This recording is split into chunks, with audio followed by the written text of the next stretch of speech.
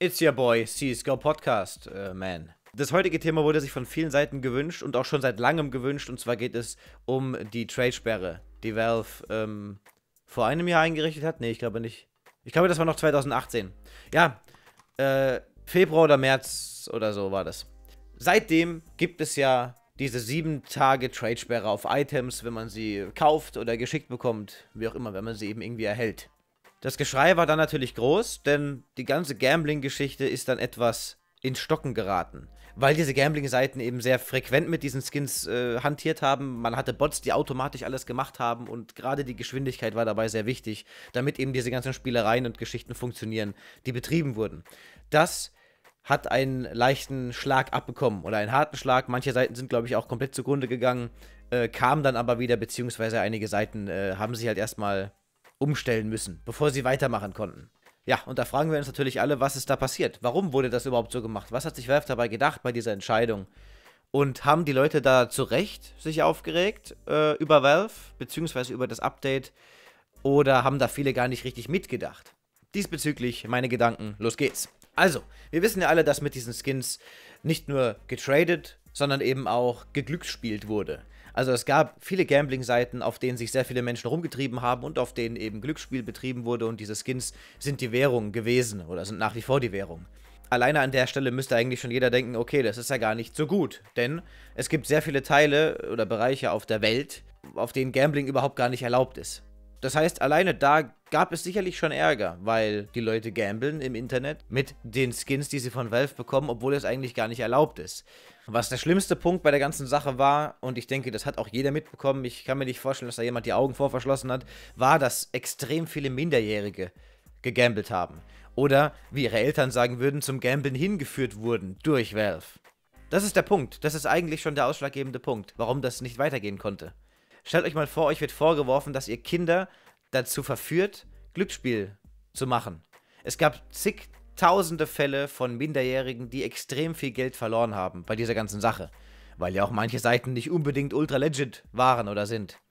Das heißt, das Kind schnort sich die Kreditkarte von den Eltern, kauft sich schön ein online, ne, kauft sich Skins und Pipapo und Guthaben auf den Seiten, gambelt da vor sich hin und die Eltern gucken dann irgendwann auf ihre Abrechnung und sehen halt Tausende von Dollar, die davon geregnet sind, weil das Kind Schabernack getrieben hat.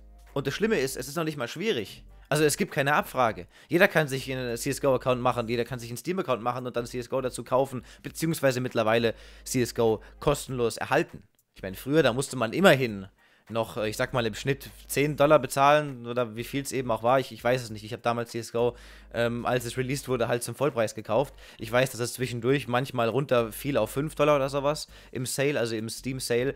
Außerhalb von Steam gab es es sicherlich noch günstiger. Ich habe mal was von 2 Dollar gehört oder 1 Dollar auf irgendwelchen russischen Seiten. Aber ich gehe mal davon aus, dass wahrscheinlich die meisten im Schnitt 10 Dollar dafür bezahlt haben. Und ja, immerhin musste man sich das Ding kaufen, aber selbst da werden Kinder ja mittlerweile nicht mehr aufgehalten. Die holen sich eine Paysafe-Karte oder so und kaufen sich den Scheiß. Und das war's dann auch schon. Es gibt keine Überprüfung.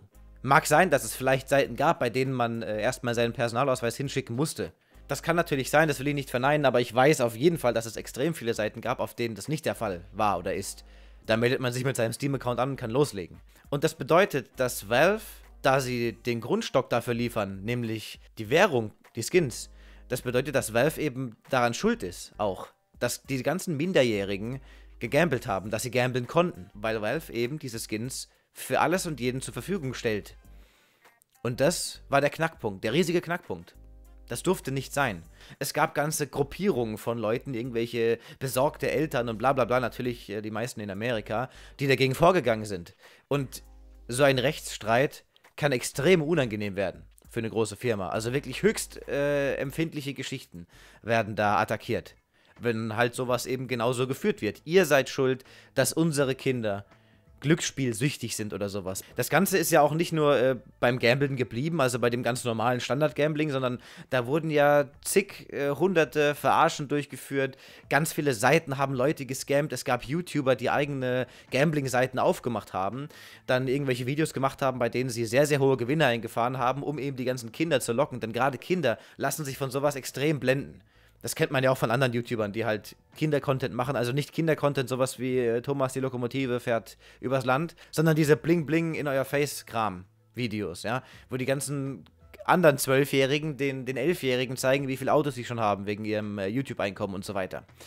Kinder lassen sich extrem leicht von sowas beeindrucken. Und natürlich ist es das gleiche mit CSGO-Skins. Wenn man sieht, dass da wertvolle Skins bei rumkommen auf einer Seite, dann gehen die ganzen Kinder hin. Und mit Kindern meine ich jetzt halt alle unter 18 und meinen, sie können da auch dicke Gewinne einfahren. Und sowas ist nicht erlaubt. In Deutschland und in vielen anderen Ländereien ist Gambling ab 18, also wenn es überhaupt erlaubt ist, ist Gambling, also Glücksspiel ab 18, aber in anderen Ecken der Erde ist es auch ab 21. Alleine da ist ja auch nochmal ein Unterschied. Hätte man das irgendwie so machen wollen, hätte man das auch dementsprechend regulieren müssen von Land zu Land. Also, das ist ein riesiger Clusterfuck und Valve hockt mittendrin und ihnen wird vorgeworfen, ihr seid äh, an allem im Kern schuld. Und das ist einfach ein riesiger Scheißhaufen, an den natürlich auch wieder keiner gedacht hat. Alle sagen sich, ja, die wollen doch nur Geld. Was glaubt ihr, wie viele Gewinne Valve verloren hat dadurch? Also durch diese Trade-Sperre? Wie viele Gewinne aktuell und wie viele Gewinne potenziell verloren gegangen sind, wie viele Millionen an neuen Usern dann doch nicht mehr kommen.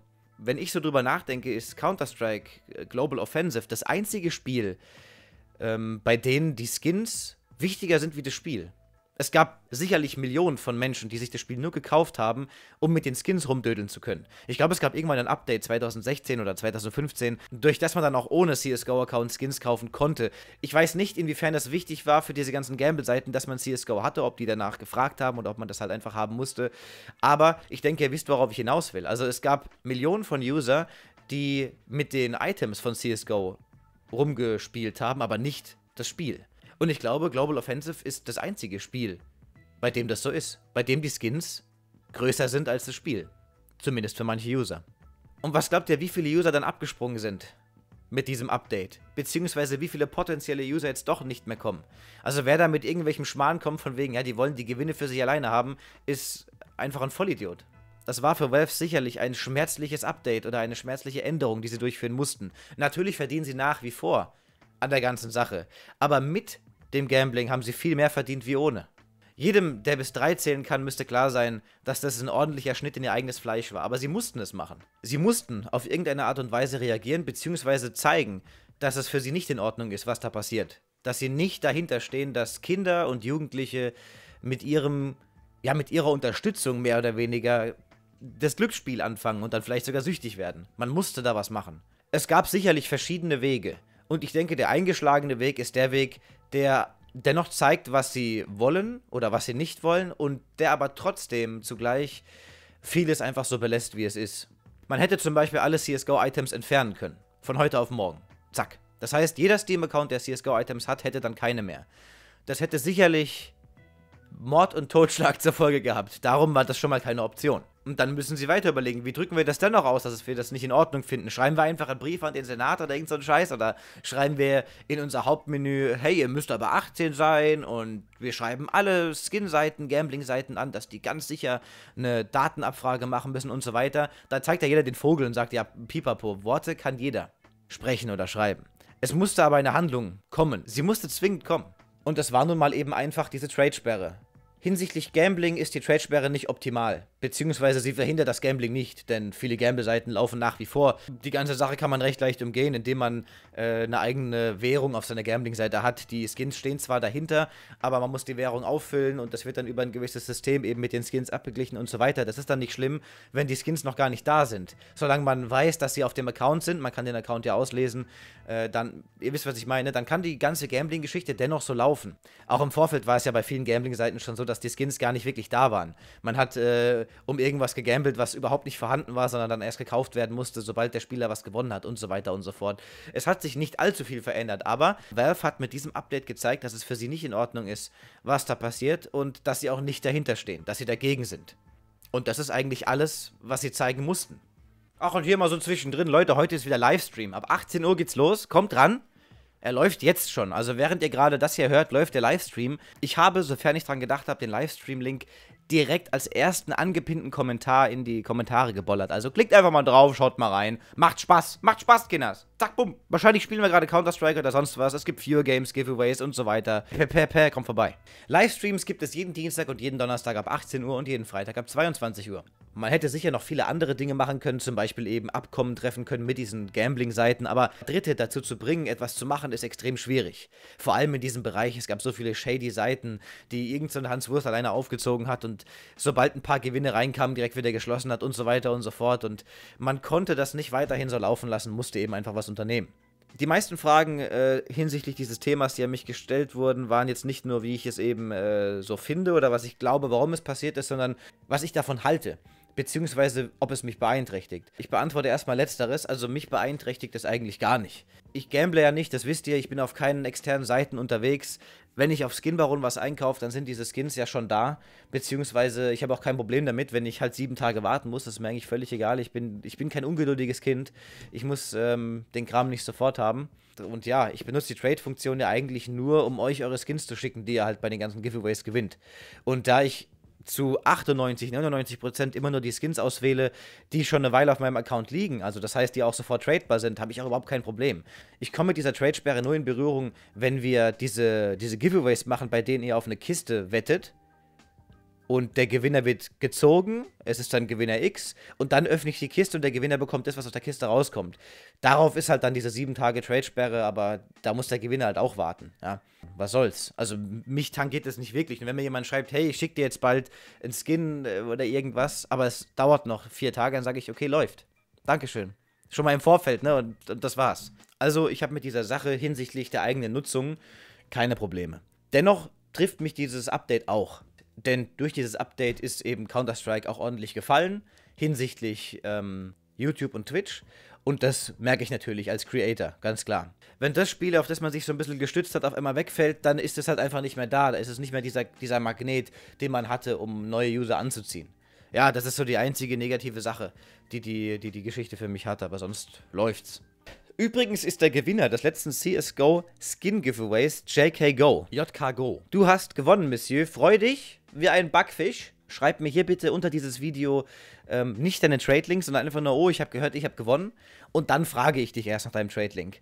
Dankeschön, JK Go. Natürlich interessiert es mich auch wieder, wie ihr davon denkt. Also vor allem, wie ihr jetzt davon denkt. Ich weiß, dass es viel äh, Rage gab, deswegen, ich denke, wenn man sich Gedanken darüber macht, also warum diese Entscheidung getroffen werden musste, dann, dann sollte man eigentlich nicht mehr so in Rage sein. Denn es gab nicht so viele andere gute Wege, um die ganze Sache zu lösen. Es hätte bestimmt noch bessere gegeben, aber die fallen mir jetzt auch nicht ein. Ähm, und möglicherweise, das wissen wir nicht, gab es auch Zeitdruck. Ja? Also wenn man auf einmal einen Brief vom Gericht bekommt oder von, von sonst was, wo es heißt so, äh, ihr werdet jetzt angefistet, weil ihr Kinder dazu verführt, Glücksspiel zu betreiben oder weil ihr Kinder bereits süchtig danach gemacht habt, dann muss man in die Pötte kommen und auch mit einer, ja, mit einer Antwort darauf rumkommen. Und sowas kann mitunter halt dann auch schnell gehen. Das muss man, finde ich, immer im Kopf behalten. Man kann sich nicht einfach erstmal über was aufregen, beziehungsweise man kann das schon. Ich will hier überhaupt niemandem das Recht geben, sich aufzuregen. Ich reg mich auch auf. Also ich reg mich auch über Dinge auf, ähm, über die ich dann im Nachhinein äh, mich anders äußere. Aber zuerst reg ich mich für mich selbst schon auf. Es gibt Kommentare, die ich lese und ich denke mir nur, Alter, du Dreckbock. Aber ich antworte dann erstmal nicht, ne? Sondern ich lasse es dann erstmal sacken und dann lese ich es mir nochmal in Ruhe durch mit angeschaltetem Kopf und überlege halt genau, äh, was in diesemjenigen überhaupt äh, vorgeht, warum er das schreibt. Und wenn er genau das macht, wenn ihr euch jedes Mal in die andere Partei hineinversetzt, erstmal, bevor ihr reagiert, also bevor ihr öffentlich reagiert oder dieser Person oder Partei gegenüber reagiert, dann kann man meistens äh, sich sehr viel Ärger sparen. Denn Ärger ist auch eine Sache, die einen selbst kaputt macht. Und wenn man ärgerlich antwortet, dann kriegt man meistens eine weitere ärgerliche Antwort zurück. Und das ist dann wie Selbstvergiften. Deswegen regt euch gerne so viel auf, wie ihr wollt, aber tragt es am besten nicht nach außen überlegt, fokussiert, äh, reflektiert, analysiert und schreibt dann oder und sprecht dann, wie auch immer, aus, was ihr denkt. Ja, soweit zu diesem Thema. Ich denke, es ist ausreichend behandelt. Man könnte die ganze Sache sicherlich auch noch tiefer angehen und wirklich jetzt einzelne Seiten rausnehmen und Ideen und, und hin und her. Aber ich denke, ähm, dass der Stream gleich ist. Ne? Ich habe keine Zeit. Sorry. Macht's gut. Ciao, ciao. Gott klang das gay, Alter. What?